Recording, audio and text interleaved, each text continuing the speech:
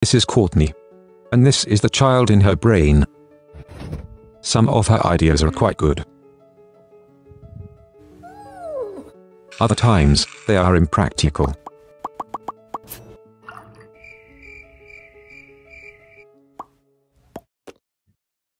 But who needs practicality anyway?